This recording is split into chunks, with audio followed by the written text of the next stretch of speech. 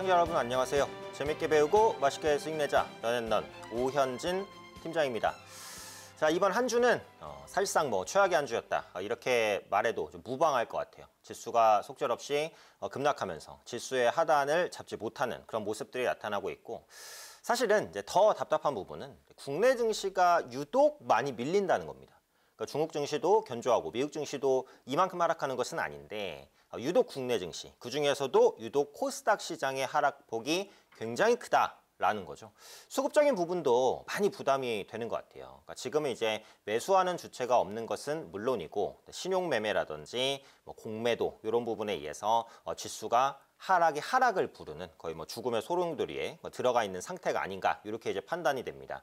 펀더멘탈 상으로 저평가에 들어간 것은 분명하지만 저평가에 들어갔다고 해서 지수가 반등하는 것은 아니죠. 저평가 상태가 장기간 유지될 수도 있고 저평가가 더 큰 저평가로 갔다가 반등할 수도 있습니다. 그래서 지금은 어, 지수의 하단을 잡는 것은 거의 무의미하고 최소한 코스피와 코스닥 시장이 5일선을 회복을 해야 그래도 바닥을 다지고 반등할 준비가 되었다. 이 정도로 보셔야 될 것 같아요. 떨어지는 칼날을 잡으시는 건 안 되겠죠. 그래서 지금 이제 보유하고 계신 종목이 대부분 마이너스가 크실 텐데 어, 실적이라든지 펀더멘털이 좋은 종목을 매수하셨다면 어차피 지금은 매도하실 수는 없는 상태니까 보유를 하셔야 되고 만약에 현금이 있어서 저가 매수를 하려고 하시는 분들이시라면 최소한 하락 추세가 진정되는 시기 뭐 쉽게 판단할 수 있는 게 5일 이평선이죠. 코스피와 코스닥 시기에 어, 시장에 5일 이평선 회복을 확인한 이후에 저가 매수에 나서도 어, 늦지 않다 이렇게 말씀을 드릴게요.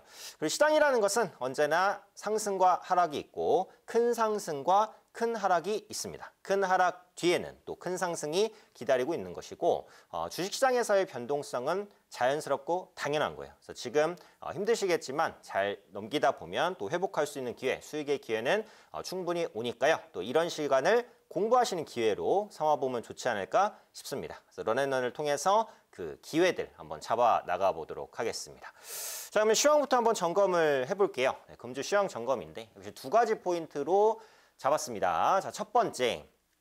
지금 미증시도 그렇고 국내 증시도 그렇고 급락을 만들고 있는 이유, 네, 이거예요. 어, 경기 회복 둔화에 대한 우려감이 부각이 됐다라는 거죠.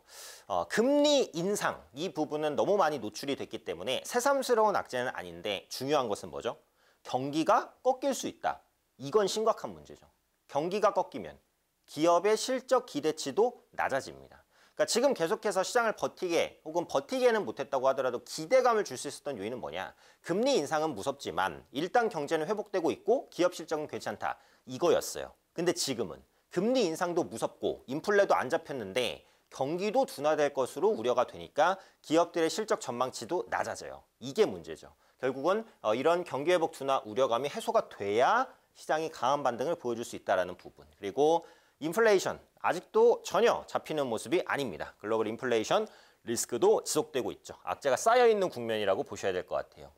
자, 필라델피아 연은 제조업 지수를 한번 보시면 어, 0 위에서 계속 움직이다가 0 아래로 이제 꺾이는 그런 모습들이 나타나요. 그래서 앞으로 나오는 지표들, 소비 관련된 지표, 생산 관련된 지표 눈여겨 보셔야 되는데 만약에 이제 지표가 꺾이는 흐름이 나온다라고 한다면 어, 그때는 지수에도 압박이 되겠죠.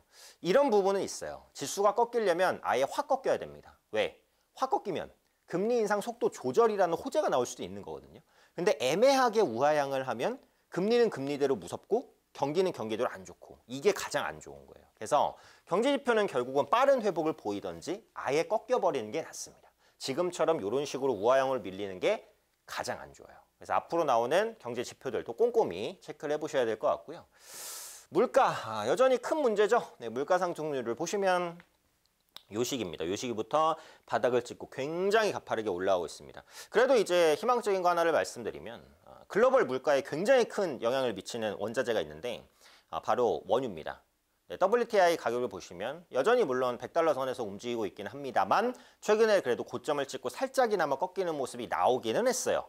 그래서 유가가 100달러 아래로 그래서 90달러 선 정도까지 내려와서 안정이 된다라고 한다면 인플레 리스크가 조금 더 완화될 수는 있습니다. 그래서 국제유가는 현재 시점에서는 하락해 주는 것이 증시에 도움이 되니까 어, 국제유가의 움직임도 좀 잘 지켜보시면 어, 좋을 것 같아요. 그래서 다음 주도 이제 포커스는 경기 그리고 인플레이션이니까 어, 경제 지표 그리고 지금 말씀드린 대로 유가의 흐름을 좀 눈여겨보시면서 시장을 신중하게 대응하셔야 되지 않을까 판단됩니다.